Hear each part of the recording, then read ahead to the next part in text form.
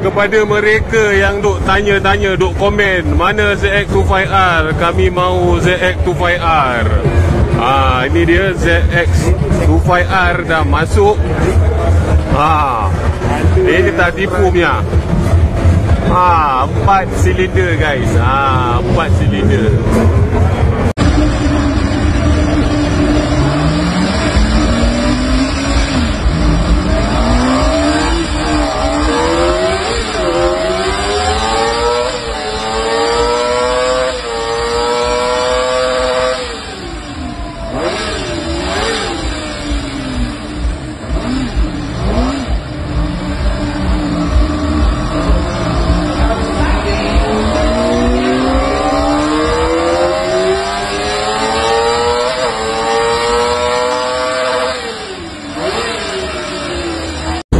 Okey, so inilah dia Kawasaki ZX25R yang Kawasaki Malaysia letak sebagai preview di bintang antara Sepang pada minggu MotoGP.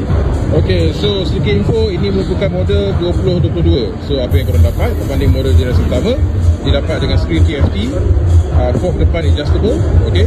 Kita ada uh, design sama, cumanya dia ada kemas ini yang mana dia punya lampu signal kiri dan kanan sekarang LED ya, berbanding halogen.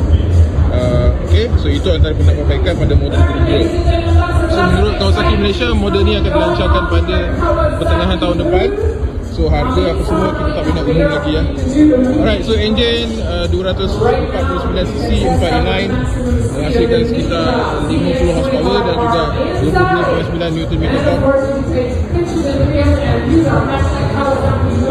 So dalam keluarga 250cc ini merupakan model yang paling berkuasa sekali lah.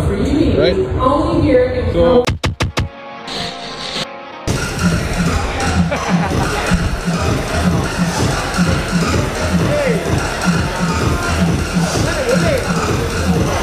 Eh, Didi buat takkan ni tak boleh.